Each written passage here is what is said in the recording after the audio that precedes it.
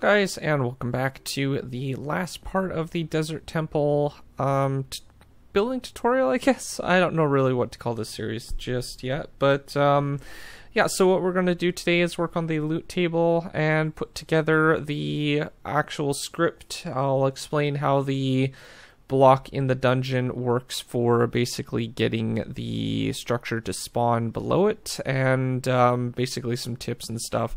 So uh, the first thing that we actually need to do is create our loot table. So we're going to do that right now and we're just going to select uh, under our mod elements page and then go to uh, L for loot loot table and then I'm going to call it something like our um, desert uh, temple loot, and this should be good enough. And then what we're going to do is we're going to just create some different um, things here, some different items that can basically generate in here. So I'm going to set this to basically have a random number between uh, 1 to 4 for generation, and that's going to select anywhere from uh, actually, let's do one to three, and that leaves only uh, two items that basically don't get added. So these will be our uh, junk items uh, for the actual thing. So obviously, we want to add some gunpowder. That's kind of like a junk item. Maybe some bones, because I'm sure creepers actually do have bones. I can't imagine any physical form not having any bone structure in order to actually stand up straight, so that would be interesting if it did have any bones. Uh, we can also add maybe some flint, because uh, flint and steel kind of thing, and you can ignite creepers on fire. And uh, what else can we put in here? We can put, um, uh, let's see, maybe some slime. That's that's green like creepers as well. And we might also want to put uh, something else in here. I'm not sure what. Maybe some sand because uh, sand is commonly found in the desert. So we can put some sand once I find it in the GY. It's somewhere in here. Uh, should be near gravel, I think. That's where I remember. Yeah, right there right there. All right, so we'll select that. And then what we're going to do is we're just going to set our minimum count and our maximum count. I'm going to set all the uh, the gunpowder to about two, and then I'm going to set the bones to about four. The flint can be a little bit higher, so we'll set that to eight. Uh, slime should be a little bit lower than that, maybe four, and the sand could probably be about 16 and we even might want to just have it 16 in straight across the board so we'll set it to 16 and 16 for that. And um, yeah that looks all good. All right so the other thing that we want to do is we want to uh, set this to actually this would be a good time to actually demonstrate uh, the mod namespace thing that we're basically going to work on. So let's uh, set this to our chest. Uh, basically a chest um, loot table type, and then we're going to use our mod namespace. So we're just going to use the one that's in our mod, and that should be desert underscore temple desert underscore build. So right up there, we can also get our namespace from the workspace, and then open workspace settings, and then it will be located under the mod namespace slash ID. So we'll grab that and we'll save that quickly. And then what we can do is we can um, just save this. Actually I forgot to do something. We need to actually add our loot items. So I'm going to select one or two loot items for the thing. Now I'm going to actually set this to a zero minimum roll and the maximum roll will be two I believe and then what we can do is we can set this to something a little more valued uh, for basically our loot. So maybe some diamonds. This can be ranging from um, maybe one to two different items, and then we'll have maybe some gold in here as well. Uh, we'll have uh, maybe a little bit higher amount, so maybe um, one to four, maybe two to four actually and we can probably add some other things as well maybe some iron so iron and we'll set that to maybe three to six. And then we'll set the last one to emerald, and then we'll set that to probably four. Oh, that's five. Four to eight. Yeah, we'll set that to that. So basically, what's going to happen is the this this section is going to roll anywhere between one to three maximum rolls. And then what this is going to do is anytime after that, so this is running separately, uh, it's going to basically roll anywhere between zero times to two times. So it has a chance of not generating any valuable loot or up to two different rolls, which will spawn either one of these, basically one and another one of these items, maybe even the same item itself. So there's a chance that there can be a total of four diamonds for loot if you were to roll both diamonds. Uh, we could also adjust the weight if we wanted to, but I'm just going to leave it set to 1 so it's an even amount, so it's about 50% across the board. And then we're just going to save that quickly. So the next thing that we need to do is actually go in game and set up the uh, give command so we can actually get that. Uh, what I'm going to do actually is open up a website, MC Stacker, MC Stacker, and then I want 1.16 for the current build. Um, have to kind of search for it. I think I'll have to navigate a little bit. So if we click on the latest version, and then there is, if you're looking for an alternate version of MC Stacker, you can find it here, and then it will have a drop-down list, and then we want the 1.16 one. And after that, what we need to do is we want to actually give the player a specific item. So we're going to actually set this to chest And then what we want to do is have the loot table and believe, um, yeah, so what we're going to do is we're going to go back into our mod here and I'm just going to quickly see what our loot table name is. So it's uh, chests slash desert temple. Um, yeah, so we're going to have to put that in, I think. So we'll try that. Chests. Chest. Is it with an S after? I have to double check that. Yes. So chests slash and then it is uh, desert underscore temple loot. So desert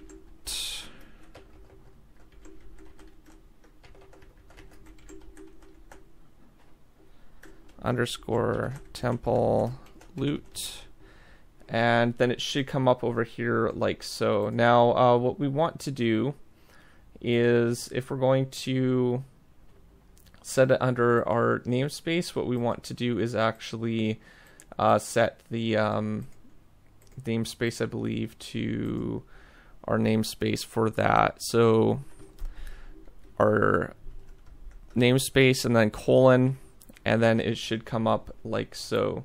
So we'll quickly take a look at see if this actually works. I'm not sure if it will. Uh, I might have to experiment around with it in a second, but we'll see if this actually this command actually works. All right, so we'll open up our building world. And then we'll quickly paste in the command and hopefully we will get a chest with our loot in it. And indeed we do. Okay. Alright, so that seems to work. Um, now, what I'm going to do is just uh, print out a command. So basically what's going on here is we're using the give command and then we're basically basically giving them the nearest player uh, the chest and then we're basically assigning the loot table. And then under the loot table name what we're doing is we're basically going with our loot table uh, or mod ID or namespace. So desert temple under or this is basically our everything from this point to see if I can select it. So everything from here to here in our loot table type is basically our namespace. And then we're basically setting the loot table registry name. So in our case, it was chests and then slash desert temple loot. And then we're just basically giving the amount over here of the player to one chest. So that's basically what's going on in that particular part. So now that we have a chest that we can actually use, uh, we're going to replace these ones in here with the loot table ones. Uh, remember not to open the chests. If you do, you have to kind of break the entire chest system. So if we were to open this up, then what we would have to do is basically break it, place down our chest again with the loot tables. And what this will do is it will make sure that the loot stays uh, random. If we open it, then the loot is generated and we can't actually. Uh, it will be the, the same loot for that particular chest every time. But as long as there is a loot table uh, part in here, then it's not going to basically um, generate every time. Now, the only thing that I have left to really do is figure out, like, I'm not sure if the TNT will explode if we hook up all the different types of um, tripwire hooks. So I'm going to just quickly test this theory. And I'm going to go over here far enough away from our build so we don't actually trip the, uh, the thing. And I'm just going to place a few of these like that. And then I'm going to just set it up like we would with the string here. Okay, so it doesn't look like it will actually trip when it's um, actually done until we break it or trip it. In that case, that will happen. So what we'll do is we'll just quickly link up this part. And hopefully we won't get in the way where it will... Okay, I'm just to go over here. Okay, that... trying not to trip the wires. Okay, there's that one. We might have to break underneath uh, the structure so I can easily get out. Okay, that's hooked up. That's hooked up. Having a hard time getting in that uh, part right there, there. Okay, so I'm just going to look at the parts, and that looks like it's all hooked up. Hey, I actually just noticed something. So underneath, uh, you can see that this actually doesn't connect up to that. That's interesting. I wonder why it does that. Like this part doesn't link up to that part, oddly enough. Alright, anyhow, um, let's just break underneath here, and then we can fill that in. We'll just sneak out from underneath the build so we don't trip anything. And that's all set up. Uh, I just want to check one last thing. I thought I saw... Um, whoop. No, I do not want that. I want that. Thought I saw a couple blocks right up here that was basically not set up. And I just want to fix that quickly. And then what this will do is it will basically, um, if we were to leave it basically blue like this, what would happen is it would replace it with air, so I don't want that to happen.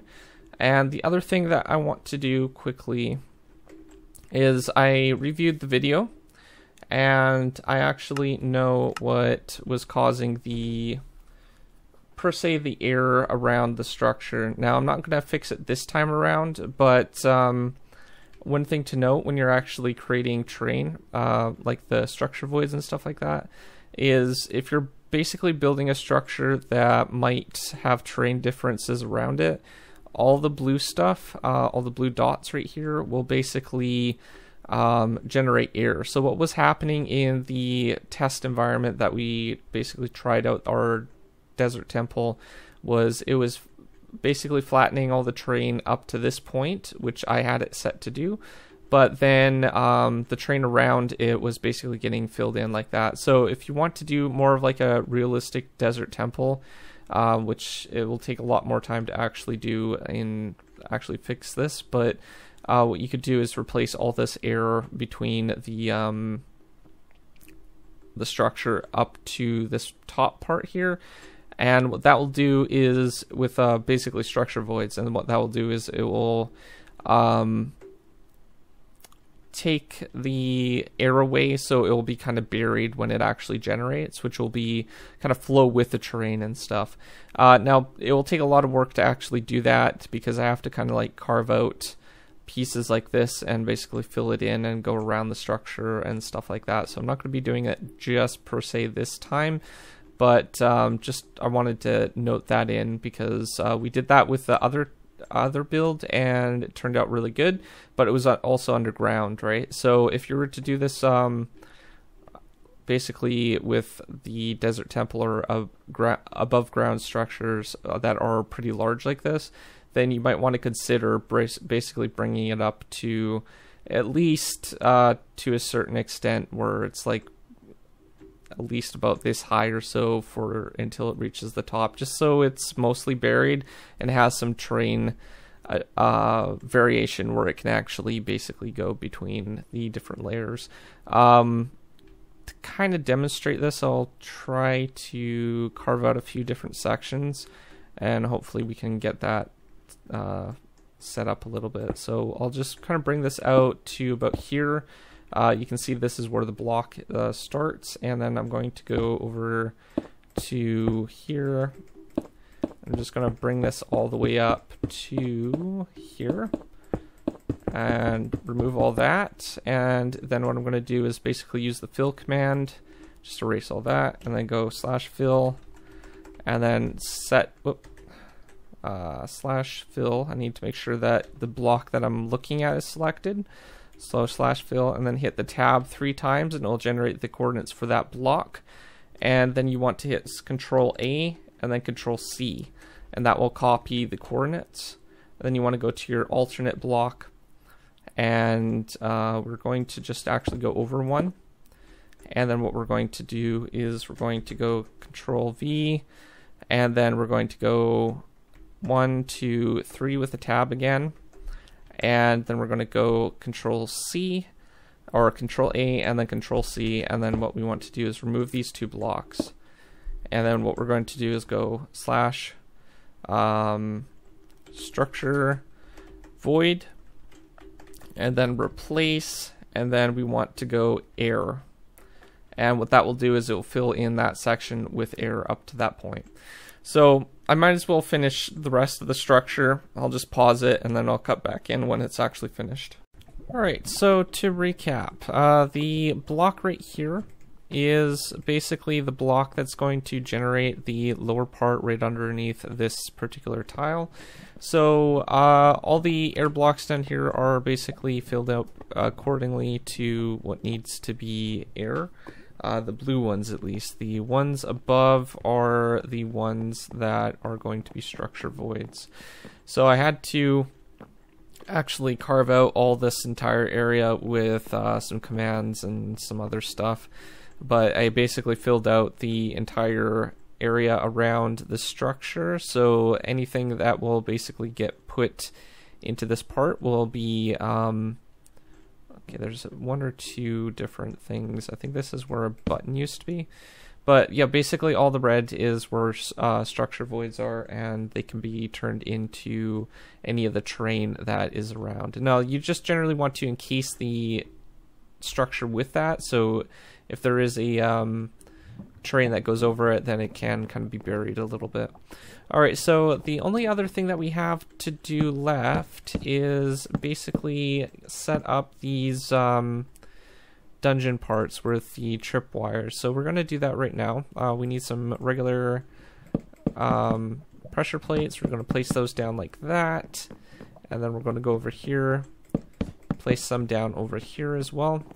And then we're good to go. So now we just need to save the structure, or both of them at least. And, uh, oh, I missed that part. Just going to fill that in quickly. Perfect. All right, let's just do a quick fly around the structure to make sure there's no other pieces. Looks good. All right, all right. So, um, we need to go over here. We'll just set this as the um, structure, our basically our namespace, and then top. It doesn't really matter what you call it as long as it's um, unique to what it is. So this is the top of the structure, so we're going to save it like that. And then we're going to go over to this one, and we're going to save this as the bottom. Now I think the other one was supposed to be just top. I might have pressed S trying to move, so I'm just going to save that as top instead. And top and then bottom, and then we're all set up. Alright, so now all we need to do is go back into mcreator and I'm just going to minimize that. And we'll close out of this. We don't need that open anymore. Alright, so the other thing that we have is the block itself. So what this block does is it uh, basically generates the structure. So I'm just going to go quickly through all this. And properties properties don't really matter too much. The block has a one tick speed, so basically what will happen is every tick it will basically update. That's important for the system. Uh, we have no tile entity, and the only thing that we actually have is for the update tick, and what we're doing here is pretty straightforward. Uh, what we're going to do is we're going to spawn the structure for the bottom piece, and what we're going to do is basically replace the block inside the structure, basically itself, because it's X, Y, and Z, to an air block and basically remove the keep state and keep NBT slash inventory. So what this will do is it'll just reset the current block that it's running from um, that was in the structure uh, for generating it to an air block as soon as it basically generates. So basically that's what's going on here. Uh, we still need to import our other models though. And the other thing that we're doing is the structure spawn conditions. We'll set that up in just a second. Uh, the next thing that we need to do is we need to go into our structures. I'm just going to delete these old ones that I have from testing. And then I'm going to import the ones that we basically had uh, just made. So our bottom and our top and then we'll have that all set up. After which, uh, we can go back to our mod elements, and then we'll just quickly take a look at the Desert Temple um, on structure instance generated. So this is basically the procedure for that. Now what this is basically doing is we have two local variables, uh, pos x and pos z what pos x and pos z does is it gets the current location of the access point of the actual structure. So the access point is always going to be the north, uh, let's see if I can remember this, northwest bottom corner. And what we need to do is basically increase the x and z uh, coordinates. Um, I believe I remember correctly. Uh, yeah, so the x and z coordinates uh, for the structure. Now, because our structure is actually generating on a one block above the actual axis point, we have to offset the y-axis to y plus 1, and then it's just going to do basically the entire uh, structure layout. Another thing that we should I should know is we're testing for the 32 by 32. Now I'm not sure how big the actual structure is, but it's going to basically do a pane of uh, testing for a 32 by 32 area. Now obviously you want to make sure that it's roughly the same square size as your maximum size for your actual um, structure itself so it catches all the blocks but basically what this is going to do is uh, test for that entire area up here. It's going to test for the block that we want to basically update, uh, trigger to update. And then what we're going to do is basically update slash notify block, and then we're going to use the coordinates from our variables for x and z plus 1 for y. and then what we're going to do is schedule tick update of block and then the same location. So if it finds it, then it's going to basically tr- schedule the tick update and basically update and notify the block. Uh, this basically bypasses the structure's um, non-update tick setting. So basically, by default, any structure that generates will not uh, have ticks enabled. This system here will basically allow you to bypass that. Uh, if you wanted to test for the entire cube of the area, what you could do is add a position y uh, variable, uh, set the y variable to y here, and then what you would do is basically add a new repeater and then uh, set that on the outside of it. So you'd basically do something like this and then you would reset your two variables, your z and x up here, and then your y variable would be down here. And what this would do is basically it will repeat uh, for the entire uh, cubic area of the structure. But uh, we just want to test for the pane that is just on the access point, and then we're going to basically um, offset that plus one when we're actually testing. So that's all we're doing here, and uh, basically this bypasses the block from not ticking properly, and it will schedule the tick, and then it will spawn the structure. So now that we got this all set up, uh, we just need to actually get the structure generated itself. So we're going to go to spawn structure, and I am going to call it um, desert let's see, yep, desert temple, and then we're going to just create structure, and then we want to spawn the top version, and I'm going to leave the default just to make it easier for testing, and we're going to leave these exactly to 1. Uh, we do not want rotation. I don't know what it would do with rotation. It's probably best because I'm not sure if the bottom half is actually exactly centered with the actual structure or not. So I'm just going to offset or disable that so it's not like all crooked and stuff. And then what I'm going to do is um, this is fine. So this will basically bury the block if um, it's located at a certain location. Now the one thing that I didn't do uh, before I started test uh, came into the workspace was test how many blocks we need to actually offset the y coordinate. So let's go back into the program and the test environment and we'll just quickly see uh, count how many blocks that we need to basically bring it to this surface level.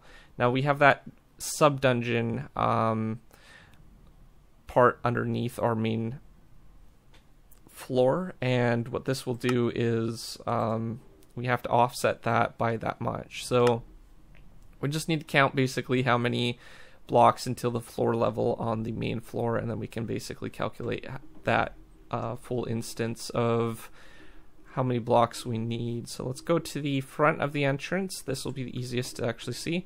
And then we'll just count how many blocks. So one, two, three, four, five, and then the floor is on six. So we want to basically offset the structure down six blocks. So we'll just remove that, close that out, and then we will go back into our structure and then we what we want to do is go one, two, three, four, five, and then six, and then that will offset it six blocks downwards. Uh, for the generation location, probably want uh, it set to surface because it's using surface surface blocks, and we want to set the uh, biome generation to desert. So generally, you want to set it to desert. You could set it to other biomes as well if you wanted to. I'm just going to select, actually, you know what? Generally, you just do that. I'm going to leave it the way it is.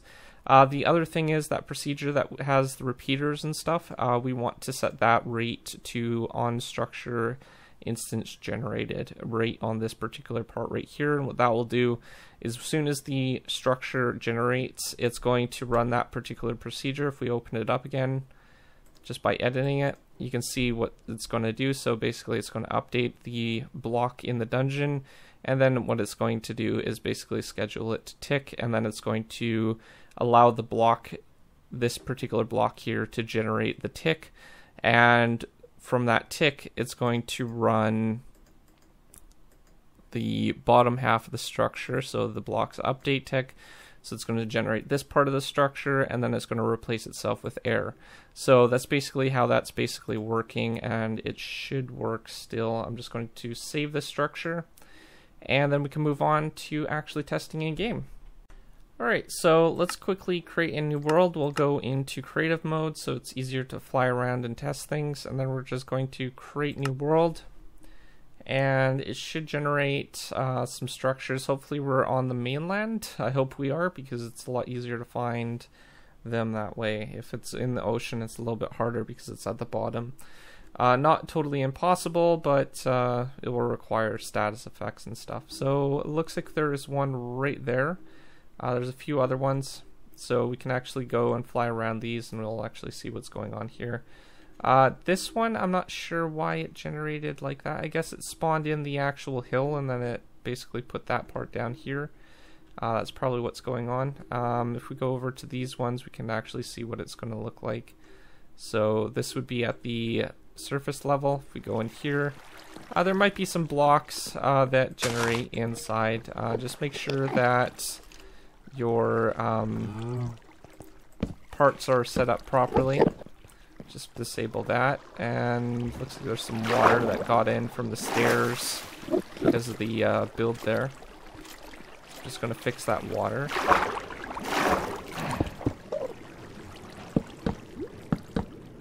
And then uh, we should be able to check down here. So let's just see if our creeper spawners are working. It looks like they are.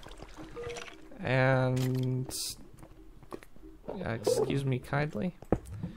And as you can see, our bottom half of the structure is generating. I can actually even drop that. And I'm just going to squeeze into this part. And we're going to go straight down and in. And we'll check our loot. And it looks like the loot's all good. Trigger that.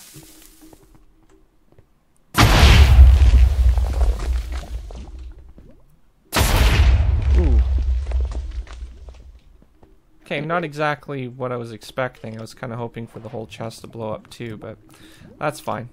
I'll try this one. Is this where the... No, I think we came in the that side, so we'll go in the other side. Oh, maybe... Oh, I don't know. Uh, I think our pressure plates were disabled from the other thing. Or not.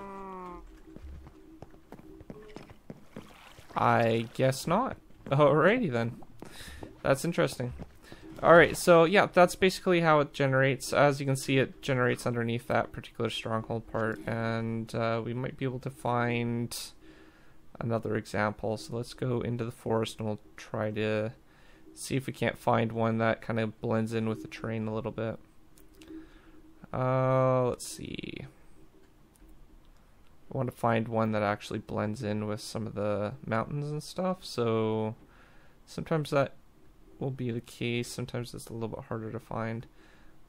As you can see, it just kind of blends right around the um, actual tree line though. That's because I've taken the time to actually set all the structure voids to go around it and uh, basically just mined out the interior parts and that's basically allowing us to um, not worry about the um, generation. So I'm sure if we go down the stairs, disable these before any other creatures enable it. We'll go down the other stairs as well and just disable that.